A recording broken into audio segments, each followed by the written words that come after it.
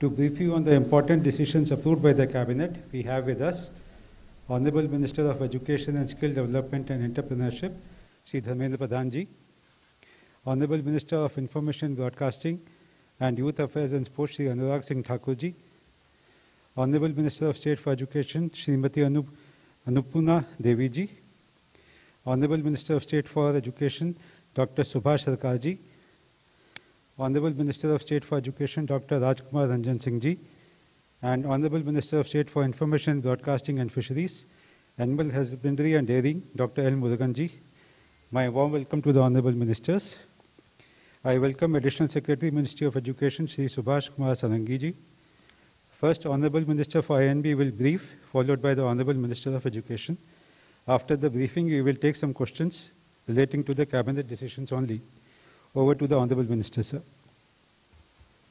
धन्यवाद जयदीप जी।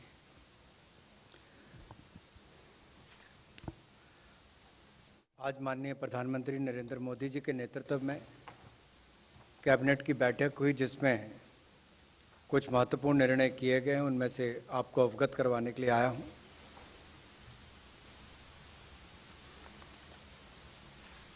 Minor girl child को women को जो रेप के केसेस होते हैं, उसमें जल्द न्याय मिल सके। उसके लिए फास्ट ट्रैक स्पेशल कोर्ट्स। इसको लेकर जो आज अप्रूवल दी है, उस योजना को कंटिन्यू करने के लिए। इसमें लगभग 1023 फास्ट ट्रैक स्पेशल कोर्ट्स चलते रहेंगे, जिसमें से 1023 समेत इसमें पॉस्को कोर्ट्स, स्पेशली 389 कोर्ट्स हैं वो। कुल व्यय इसके ऊपर एक करोड़ होगा, जिसमें केंद्र सरकार का हिस्सा जो है वो लगभग 971.70 करोड़ होगा और 601.16 करोड़ शेयर राज्य की सरकारों का होगा। इस योजना को लॉन्च 2019 में जब किया गया था, तब इसी मानसिकता के साथ, इसी सोच के साथ कि जो शिकार बच्चियाँ होती हैं या महिलाएँ होती हैं, कोई रेप विक्टिम होती हैं, इस यौन अपराध के शिकार बच्चियों को जल्द न्याय मिल सके, तीव्र न्याय मिले। उसके लिए प्रावधान भी किया गया था, कोर्ट्स को शुरू भी किया गया था। इनको 2023 31 मार्च 2023 तक कंटिन्यू किया जाएगा। और आपको याद होगा 2018 में the criminal law amendment act भी जब पास किया गया, तब यह भी प्रावधान उसमें किया गया था कि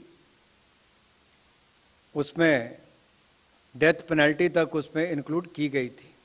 तो उसी दिशा में एक कदम है कि माइनर गर्ल्स को और वुमेन को इसमें जल्दी न्याय मिल सके उस दिशा में।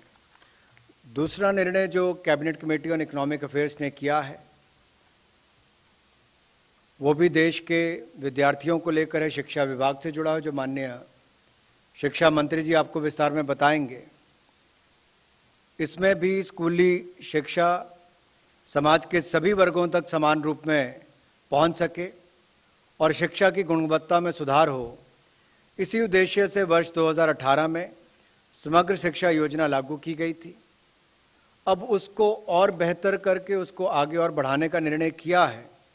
एक अप्रैल 2021 से बढ़ाकर इसको मार्च 2026 तक किया जाएगा। इसमें कुल मिलाकर दो लाख चौरानवे हज़ार दो सौ तिरासी करोड़ का वित्तीय प्रावधान होगा, जिसमें केंद्र की हिस्सेदारी एक लाख पचासी हज़ार तीन सौ अठानवे करोड़ रहेगी। ये योजना सरकारी और सरकार द्वारा सहायता प्राप्त 11.6 लाख स्कूल और 15.6 करोड़ छात्र और सत्तावन लाख शिक्षकों को कवर करेगी। इस योजना के तहत डीबीटी का व्यापक प्रयोग होगा, क्योंकि माननीय शिक्षा मंत्री जी यहाँ पर हैं। हम सब चाहेंगे जो देश के करोड़ों विद्यार्थियों के जीवन में इस योजना का मोदी सरकार के द्वारा राज्यों में लागू करवाकर इसका लाभ करोड़ों विद्यार्थियों को मिलेगा। लगभग 15.6 करोड़ छात्रों को इसका लाभ मिलेगा। 11.6 लाख स्कूल कवर होंगे, सत्तावन लाख शिक्षकों को कवर करेगी। ये अपने आप में बड़ी योजना है मैं माननीय धर्मेंद्र प्रधान जी, हमारे शिक्षा मंत्री स्किल डेवलपमेंट मिनिस्टर, इनसे अनुरोध करूँगा कि आप सबको इस योजना की विस्तृत जानकारी दें।